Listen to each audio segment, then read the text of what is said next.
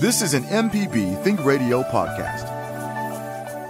Hi, I'm Dr. Susan Buttross, host of Southern Remedies, Relatively Speaking. Join the conversation every Tuesday at 11 as we dissect issues that are important to you and your family. That's Relatively Speaking, Tuesdays only on MPB Think Radio.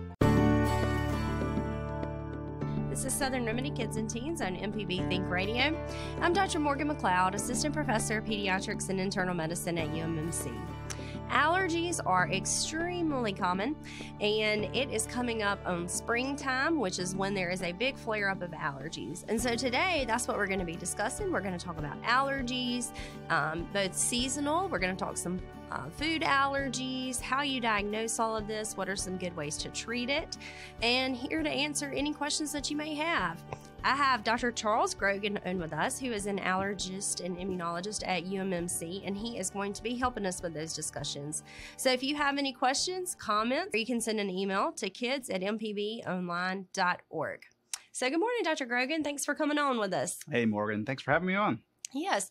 Um, I said this last time you were on, but Dr. Grogan was one of my medical students when I was a resident. So we go back way far, Oh, yeah. and um, he does a great job at UMC. Somebody was talking about you the other day in your grand rounds that you gave, and just what a I good job you it, did. So um, it's fun having you on. So thanks for coming on. Um, let's talk about allergies because I was just saying before we came on that I am all stuffy and I don't feel sick. So I don't think it's a cold necessarily.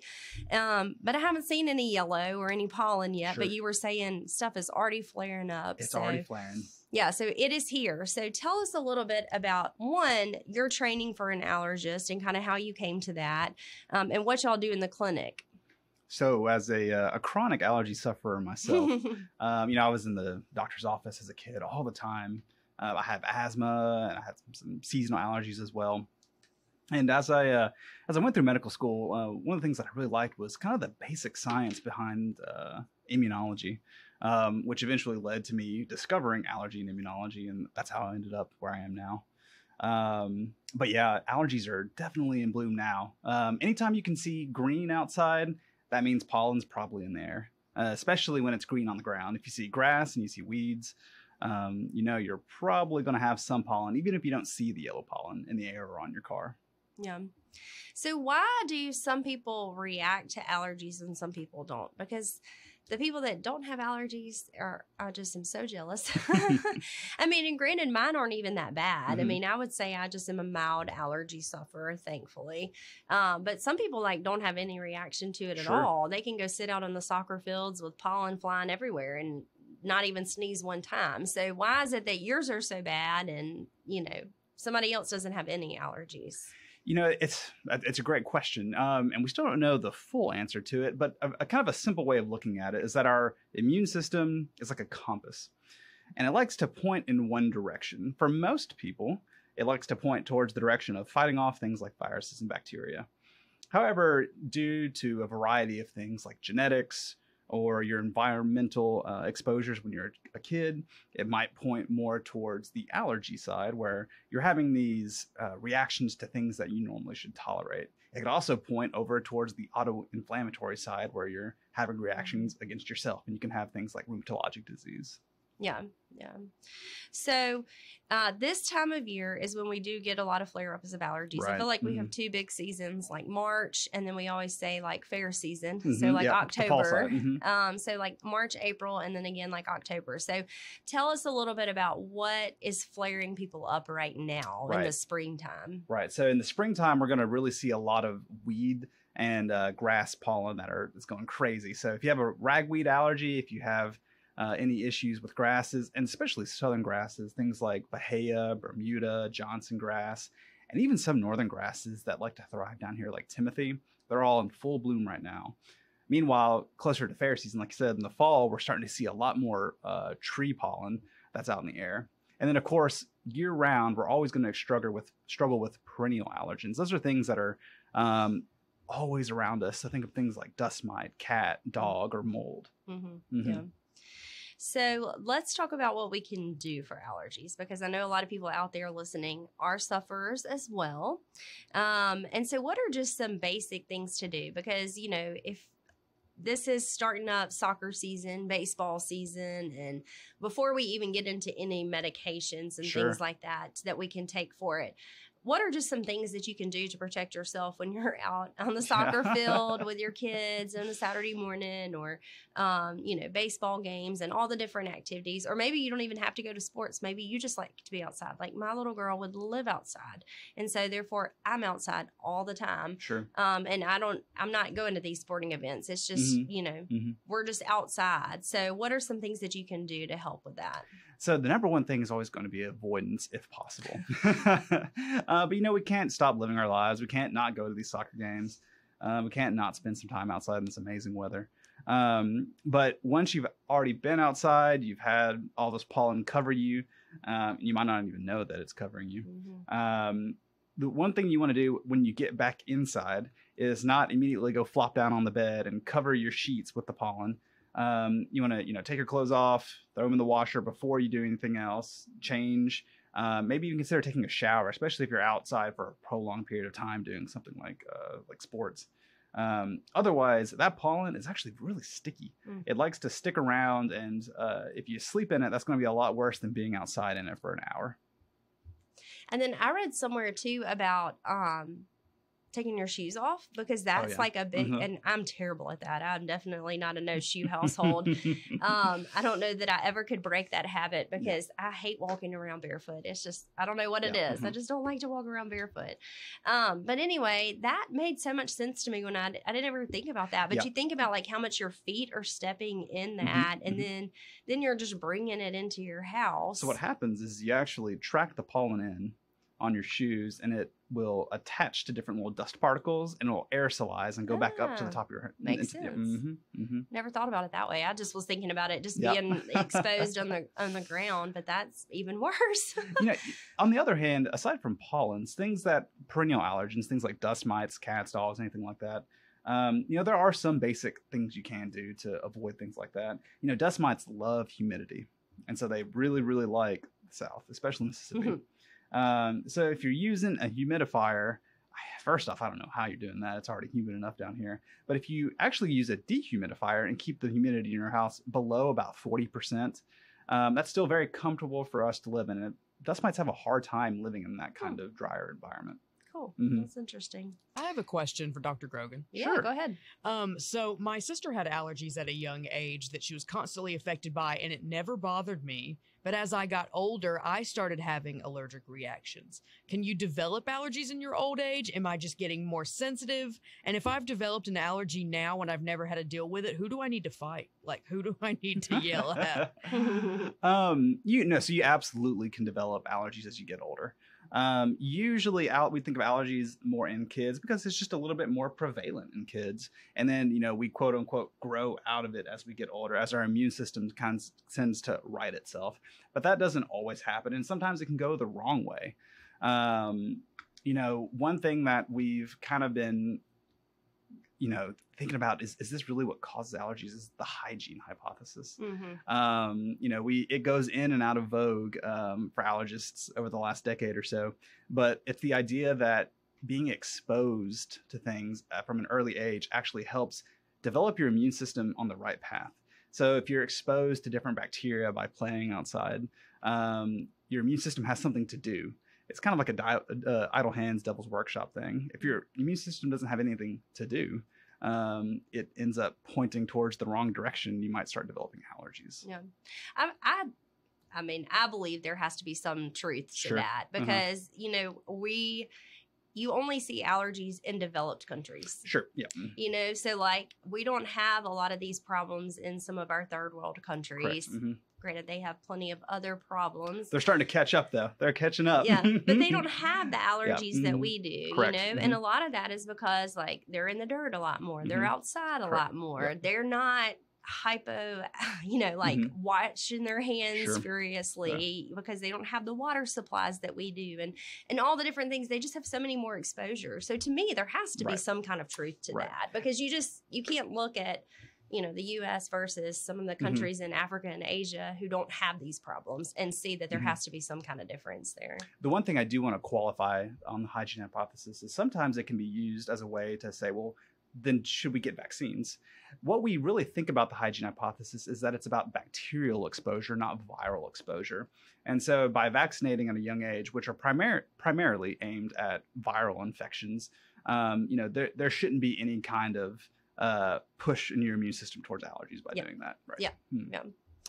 All right. Well, we are going to take our first break and then we are going to talk about how to treat said allergies because I'm sure a lot of people have those. So, um, we will take our first break and then we'll talk about some different medicines that you can get over the counter and then maybe some different prescription medicines and even allergy shots because everybody always has questions about that. Or you can always send us an email as well to kids at mpbonline.org. This is Southern Remedy Kids and Teens on MPB Think Radio. We are talking today with Dr. Grogan, who is an allergist at UMMC, and he is answering any of our allergy questions. So share some questions or maybe some things that you have been you have found to be helpful for your allergies, or you can send us an email to kids at mpbonline.org. All right, so before the break, we talked a lot about just allergies in general and, um, you know, why some people get them and some people don't. We don't really completely understand.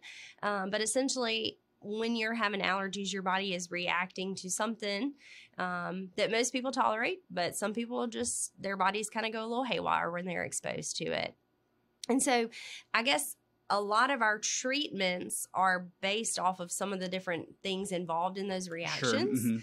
Um, and so that's how we kind of pick what we what therapies we feel like would be helpful. For Right. example, antihistamines. I Mhm. feel like everybody has has heard the term antihistamine before and probably has taken at least a Benadryl at some point Sure. in their life, you know.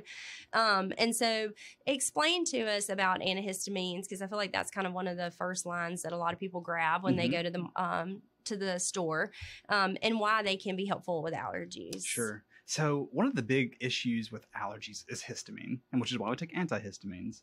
Um, histamine is typically released by something called mast cells. They're parts of our immune system. They live in our skin. They live in our gut. They're in our nose also. Um, and histamine is the itch and swell chemical that gets uh, that gets released um, when we have an allergic reaction. And so by blocking the effects of histamine, we hopefully can block some of the things like nasal congestion or runny nose, things like that. Um, we have several different types of antihistamines over the counter now. Um, you know, we're all familiar with things like Zyrtec or Allegra or even something like Benadryl, which is what we call first generation antihistamine, which is why it makes us so sleepy. Mhm. Um, but you know, as of I think last year, azelastine, or the uh, brand name is Astelin, uh, went from a prescription medicine, and th- this is a another type of antihistamine, a nasal spray. It went from being a prescription to an over-the-counter medicine, and so now we have that as an option too. hmm And I've never tried it, but um, my mother in law last year, I remember, was like, Have you ever this stuff? Yeah. This stuff is amazing. Because bless her heart, they grew, she grew up in Indiana and Mm-hmm. now she lives here in Mississippi. And she, it's a whole new struggle for her because of all her new allergies. Um, but yeah, so I did not, at that time, I did Mhm. not realize it had gone generic, like, you or not, I Mhm. guess generic, but over the counter. Right. Um, And I always um, usually advise patients to go for a topical medicine rather than a pill, if at all possible, for their allergies. They tend to work much better, mhm. um, both for al- allergic nose symptoms and for allergic eye symptoms. It's all right there together. which the allergy eye drops are over the counter now They too. also are That's as been well. for a few Mhm. years, but um, Pataday I think is the Pataday, mhm. uh, or Pata- olopatadine is the yeah generic for that. olopatadine. Yeah, Patanol was our brand name that we had to prescribe, but Pataday is what it goes by over Correct. the counter. Right, right, right. But yeah, so essentially you have antihistamines that you can take as by mouth, um, which are like your Zyrtec, Allegra, Mhm. Xyzal, Right. all those medicines. And then you have nasal sprays, which is the um, Astelin. And then you have the eye drops, which is the Pataday Right. too. And I- so, And another medicine we have are a steroid nasal spray. You know, we, we think of steroids, we think of, oh man, it's going to cause weight gain, it's going to cause, you know, blood sugar issues. But this dose is so small, there's no way it could cause any of that. It's one of the safest medicines you could probably take. Um, Flonase or fluticasone is the name of this. Um, and it's actually probably one of the strongest medicines we have for allergies. The problem is, is you have to take it every day for weeks before you start seeing a benefit. It's almost more like a blood pressure medicine mhm, than uh you know a relief medicine yeah. And I always tell people too with the steroids, uh, the Flonase, is because they're a little scared of it, but it's very local. You know, very local you're Mhm. putting it in your nose and it's not being really absorbed into your blood. Right. The reason it works so well is because it does work Mm-hmm. locally. It works right there in your sinus, you know, nasal cavities, and all of that. So Right. it's not getting absorbed into your blood. So you really don't have, especially like my diabetic patients are always scared to use Sure. it. Yeah. Um, but you know, it's right there in the nose, so it's not going anywhere. Correct. So, um, and like you you mentioned, Flonase takes a few days, uh, a few weeks to take effect. Right. Um, and that's really hard to for people when you're suffering. um, but if you stick with it, it really does make a difference. So, mhm. can you, speaking of nose spray, so we're talking about um, Flonase in particular, can Sure. you tell people how to use it? Because I feel like most people don't know, and I know that sounds crazy, but a lot of people don't know how they're supposed to use these nose sprays. Sure. Is I there would- a particular way you counsel your patients on using those? I would even say that nine out of 10 people probably don't use their nose sprays correctly. Um, when you use a nose spray, most people want to aim up and then actually point a little bit in to follow the natural curvature of their nose. But the way you want to use a nose spray is you actually want to point straight up and then aim a little bit out towards your ears. Um, and then kind of, you know, sniff just gently as you use the nasal spray. Yeah. You don't have Um, to take a big like breath in no, or anything like like, that. that. It's just a Nothing little like bitty that. sniff. Uh huh. Yep. Um, and then you know if you're doing Astelin, you're gonna do one spray twice a day. If you're gonna do Flonase, you could do either one spray twice a day or two sprays at once. But if you're gonna do two sprays at once, you want to separate it by at least a minute. Give some time for there to be some uh, uh, movement of that liquid before you spray it again. And then the biggest complaint I get about people with nose sprays is the taste that they get in their mouth Sure. after it. Um, is there any way to avoid that? So using the, the nose spray correctly is going Yeah. is going to help a lot. Um, if you point inwards, um, you're going to just hit that uh, nasal septum, um, and uh, if you do that, it's going to just immediately drain down the back of your throat. But if you point outwards a little bit, it's going to get where it needs to go, and even go a little bit towards your sinuses. Um, and by doing that, you're going to avoid that nasty taste. Yeah. Now, for some of them, like azelastine, the antihistamine nasal spray, you're probably still going to have a bit of a bad taste with it, but I think that it helps enough to, to justify use. yeah. Yeah. I'm gonna have to go try some. Because I like I I mean, like I said, my allergies are usually pretty mild, but the Mhm. fact that they have already started right now and it's only March Yeah. seventh um, makes me a little nervous. So I should probably go make an investment in these. in the, the good news the good news about the antihistamine nasal sprays is that they work in about 10 minutes um, so it's very fast relief as compared to doing some- like an, like an, uh, a steroid nasal spray Yeah. All right, if you have any questions or comments, give us a call 1 877 MPB Ring, 1 877 672 7464. Okay, so while we're on the subject of nose sprays and runny nose, Afrin. yes Everybody likes Afrin. Yes. I'm guilty myself of using Afrin before bed at times. Um, so tell us a little bit about Afrin and is it indicated for a nose spray for allergies? sure so Or just runny nose in general, I Yeah. guess. so Afrin is a nasal decongestant. Um, oxymetazoline is the generic name for it. Um, you, it's it's a very popular medicine. Um, Afrin is really popular because within just a few minutes of using it, you can breathe. And so Mhm. for some people, you can. It's the best you've ever ever breathed. especially when you're going to bed at night. Yes. That's the only time I ever use it is when I'm going to bed. You're right. Um, the problem with Afrin is that if you continue to use it over several days, you develop an uh, you, you develop the risk of having rebound congestion, which means that you use the Afrin, you use the Afrin, and then the next time you don't use the Afrin, you're actually more congested than if you hadn't in the first place. Um, I think my current record uh, for a patient who's using Afrin, they were going through a bottle a day. Oh wow. Yeah, yeah, yeah, and that's very serious. It's it's it becomes very difficult to get those patients off of Afrin. You know, you'll have to put them on a long course of oral steroids. It, it's very difficult. Um, but if you use it as needed uh, and for no longer than three days at a time, you shouldn't develop that uh, rebound congestion. What we typically like to tell our patients is that if you're going to ever use Afrin, you should combine it with some Flonase, or again, the generic for that is fluticasone. Um, that nasal steroid will actually help mediate some of the rebound uh, congestion. Yeah. hmm So yeah, so as long as you use it in short spurts, no more than three days, Correct. it is okay. Yes.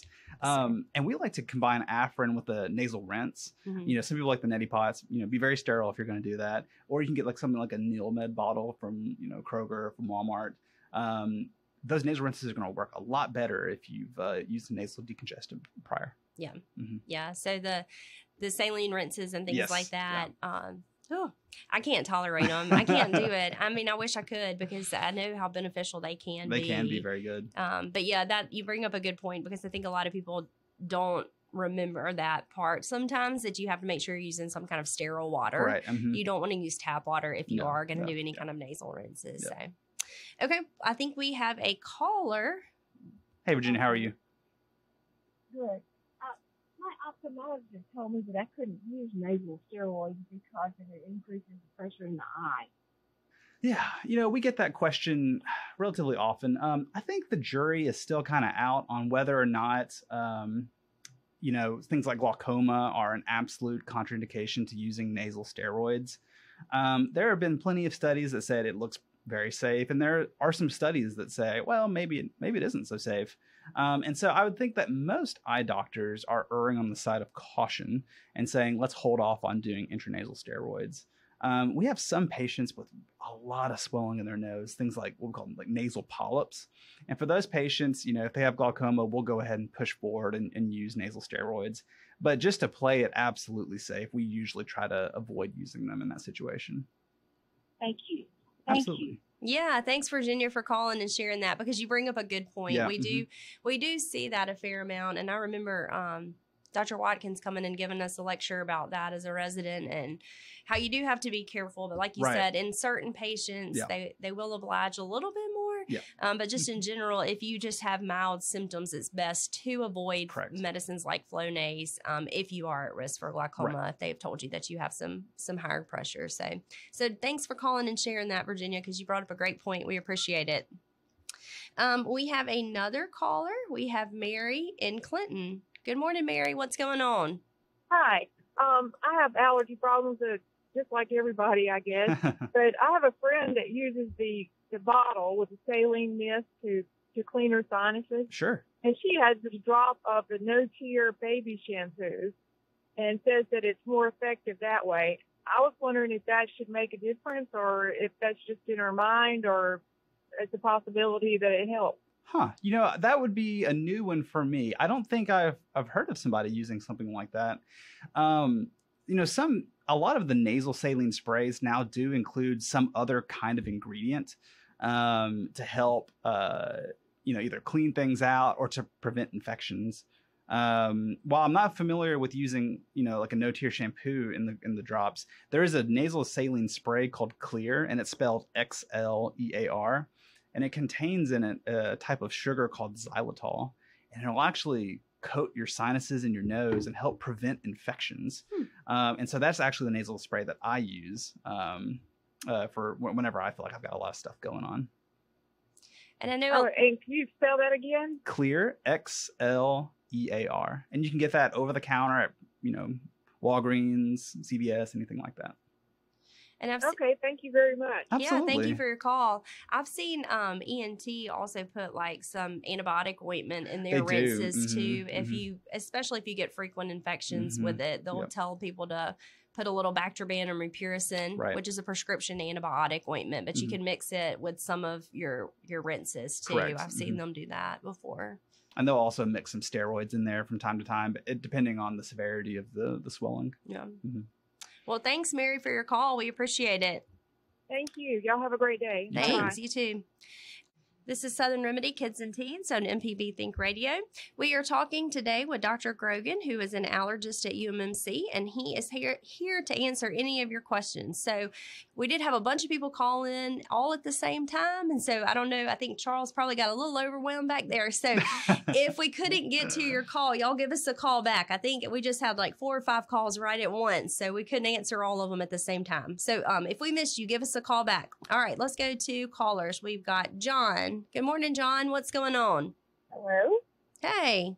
Oh, this is Jordan. Oh, I'm sorry, Uh, Jordan. Hey, what's going on? So, um, I have breakouts, um, as far as like when I'm getting hot or flustered, I break out into hives. Um, I take like a Benadryl sometimes, or sometimes I wait until I cool off and then they go away. Um, but I also have two sons, and I'm just trying to see if this is something that they may possibly develop.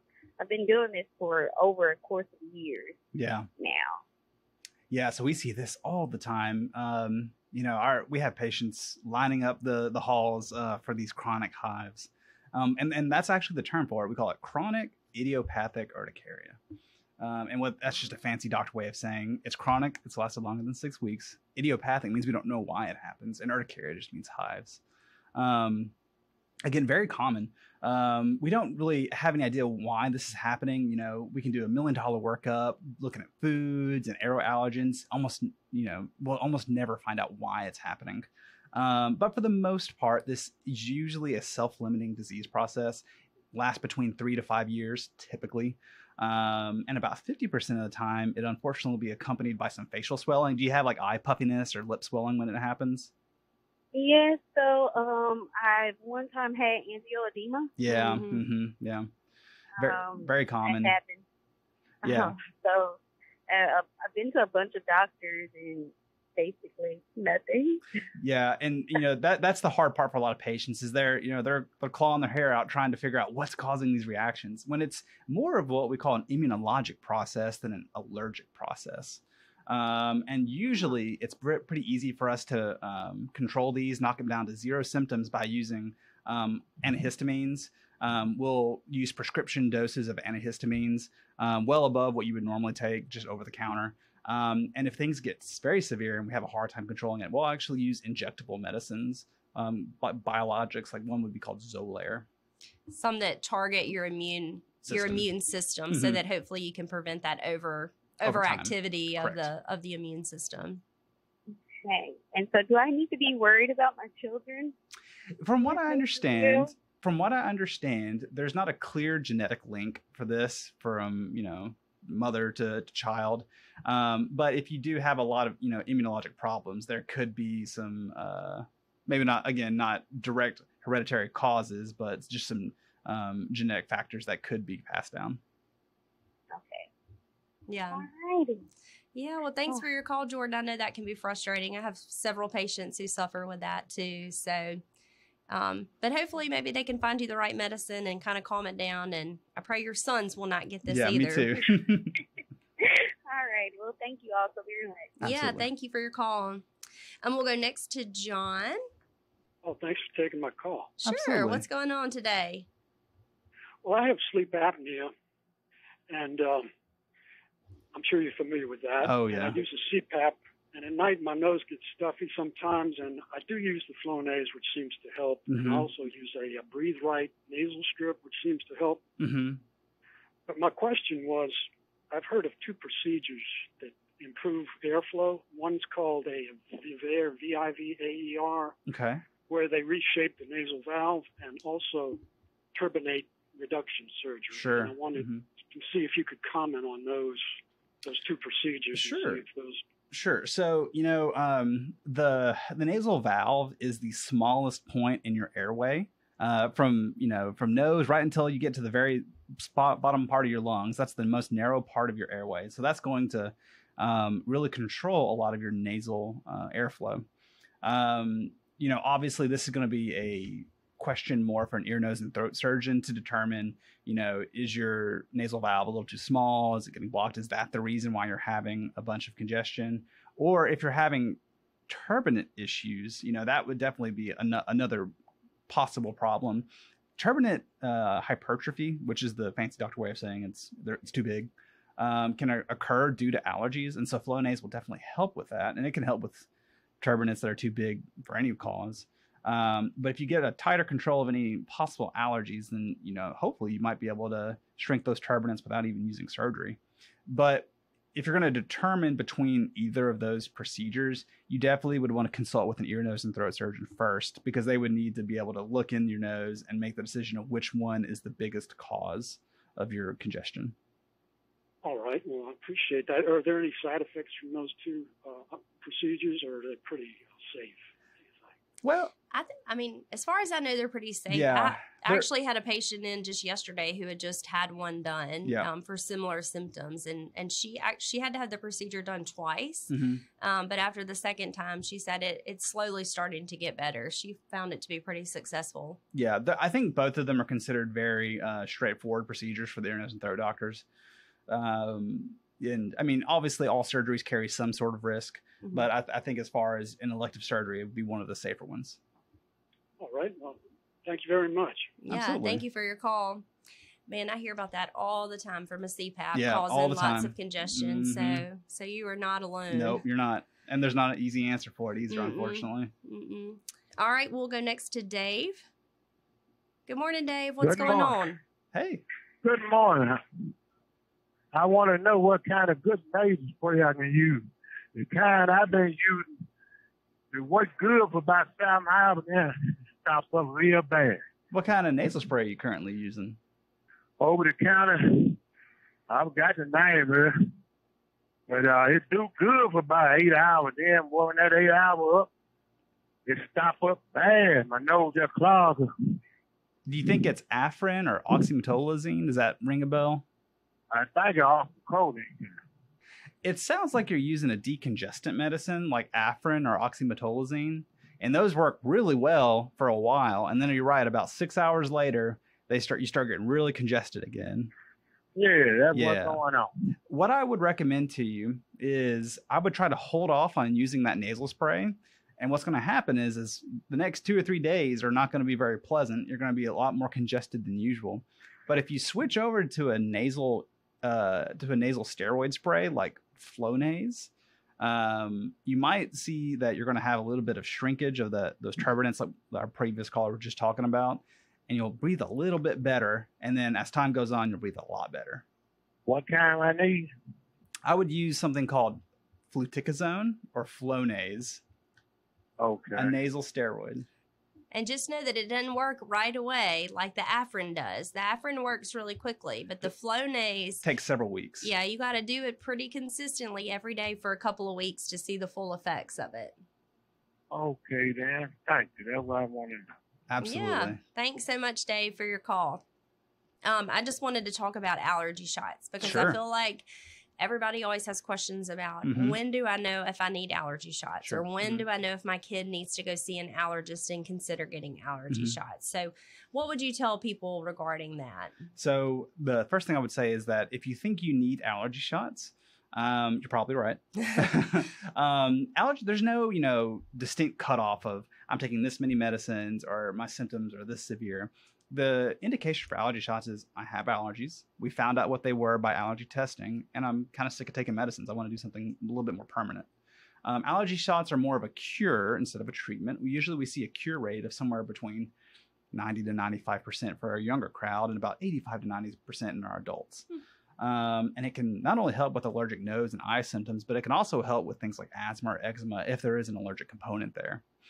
Um, it's a time investment. Allergy shots are. You know, we we do weekly shots for several months, and then eventually we move up to monthly shots for several years. But again, we're doing this as more of a cure rather than just a treatment. Yeah.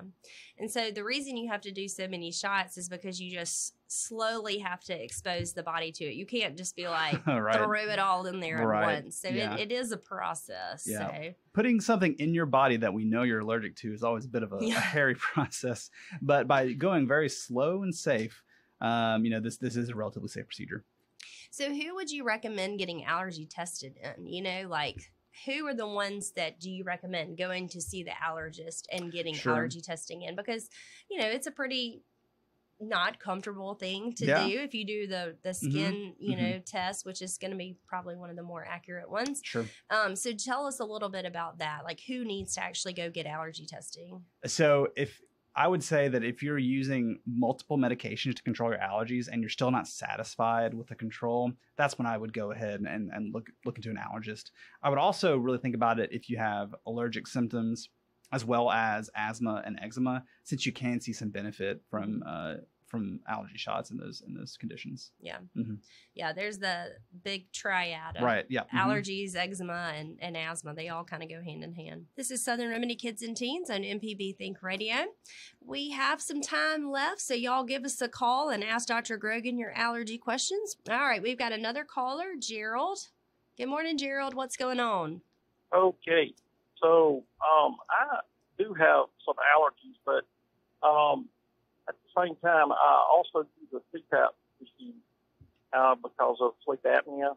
Uh, and uh, so, what my question was is that um, I uh, sometimes not necessarily congested a lot, even though I am, you know, when I first wake up. But I, I'm finding myself like kind of breathing hard during the what times that I'm stressed or times that I'm uh, under activity or um, and I was just wondering if that is uh, also a common symptom or something you hear from people who use the CPAP machine. Not necessarily. I would say so. You said you get short of breath when you're under stress or with activity. Is that what you said? You kind of cut out a little Mhm. bit. Okay. Yes, Yeah. that's right. So I have a couple. I mean, I have several different thoughts going through my head as an internal medicine doctor. But first question would be: Are you a smoker or were you a smoker? Um, because No. Okay, good. So COPD is less likely um, because that would be one of the first things. The other thing would be the heart. Um, you know, because we know number one, having sleep apnea puts pressure on your heart and stress on your heart. So if you were undiagnosed for a while, that probably did stress your heart a little bit. Um, number two, if you have high blood pressure, diabetes, cholesterol problems, anything like that, you know, you're getting at high risk for having heart problems. And some people don't have chest pain; they just have shortness of breath Yeah. with Mhm. working out and stress. Um, and so it may be, you know, you want to consider getting your heart tested. Um, and then if all of that comes back normal too, then we can think about the lungs. Um, and I would recommend getting some pulmonary function tests. That can tell us a Yeah. lot. Mhm. Um, and so what that does is they watch your lungs when you breathe in and you breathe out, and it can tell us if you're having more, um, what kind of problems you're having. Now, some people with sleep apnea have some associated lung disease too, and so it could be something like that. Um, adults get asthma. Mhm. Um, I've, we see that a decent amount, not a lot, but a decent enough amount that it's possible. Um, and then lastly would be, you know, some kind of other lung process going on in your lungs, some kind of lung disease. So I don't, I would not necessarily blame it on your sleep apnea or congestion with those symptoms that you're having. I would first and Yeah. foremost make sure your heart's okay. Yep. I don't know how old you are, Gerald, but how old are you? Uh, 55. Yeah, so you're you're getting to that age where we definitely start worrying about your heart. Yep. Um, so first and foremost, I would say that, um, especially if you have high blood pressure, diabetes, anything like that. And then the next step would be um, considering those lung function tests because, like I said, some of the the lung processes can go hand in hand with sleep apnea. So I wouldn't directly relate it to the sleep apnea or congestion. Okay. Okay, that helps. Yeah, I do have, you know, uh, right, a small amount. I'd say slight high blood pressure. Only take like a half a five milligram, know, pill, but I do have hypertension, you know, small amounts. Yeah, so you yeah, you probably need to go get it checked and you would be surprised like I've I've had a patient before who was who was a runner and really didn't have many problems but was telling me that they were getting more short of breath with their exercise and running and sure enough ended up with some stents. So, you know, like it it can happen to anybody and he never had the chest pain, just noticed that his stamina wasn't as good as it used to be. So, um, so you may want to just go talk to your doctor about that and make sure that there's nothing going on with your heart or your lungs. Okay, so go to uh, like a primary care physician. or Yeah, That's a good uh, yeah. start. Make an appointment with a cardiologist. Or something. I think just internal medicine or family medicine should be fine. We can, as those providers, we can order, um, we can order stress tests and things like that if we need to. Okay. Yeah. All right. All right. Thanks Okay. so much for your call. It's good talking to you. Um, we have Maurice, who is from Memphis. Good morning, Maurice. What's going on? Good Morning. Yes. Um, I have um, sinus season has started. Hay fever season has started for me already, and I was wondering if the um, sinus cocktail shots are, are good for you. A sinus cocktail shot.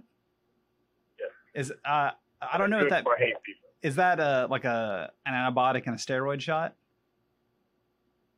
I'm not exactly sure what's in it. I, I Sure. uh, had them in the past, and and and they seem to work back in some years ago, but I haven't had one in a while because I've been using the uh, Claritin D. Sure. Sure. actually, and Is is this is this something that you get like at a doctor's office, at like an urgent care clinic? Ah, okay. So Yes. usually the, the cocktail shot that we like to call it is is is a combination of um, a type of antibiotic and a steroid. So we we try not to do those. um, because for the most part, most sinus problems are viral rather than uh, bacterial. Now, if it's going on for a long time, you're having fevers, then definitely could have a bacterial component to it.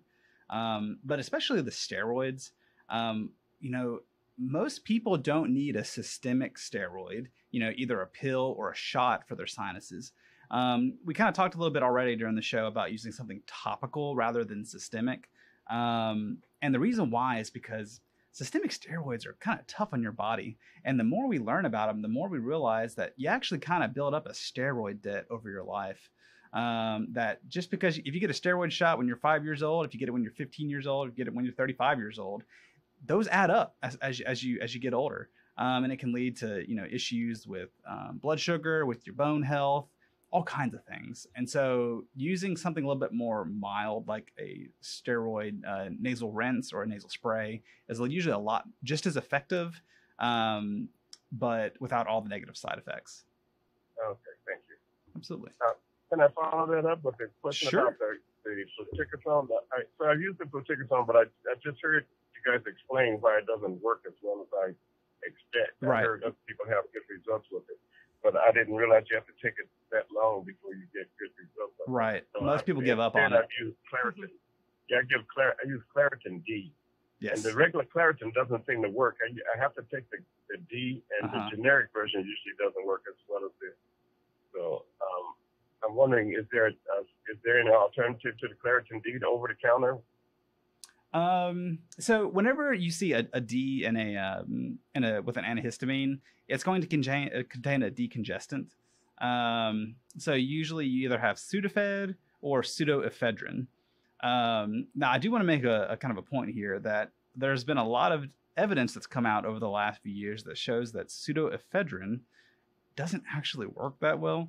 Um, it really just raises your blood pressure and speeds up your heart rate without really doing anything to decongest you. Now, Sudafed, which is now over the counter as of I think two or three years ago, Yeah. um, does you does decongest you. Um, you should be a little, I wouldn't say wary, but thoughtful about using a, an oral decongestant uh, because it can raise your blood pressure. It can cause your heart to beat a little bit faster. And if you have anything like heart problems or high blood pressure, I would tend to try to avoid those if at all possible. Um, my alternative to Zyrtec D would be using an antihistamine nasal spray since it works a lot faster and it's more effective. Okay. Yeah. All And- right. Yeah, thank you for your call.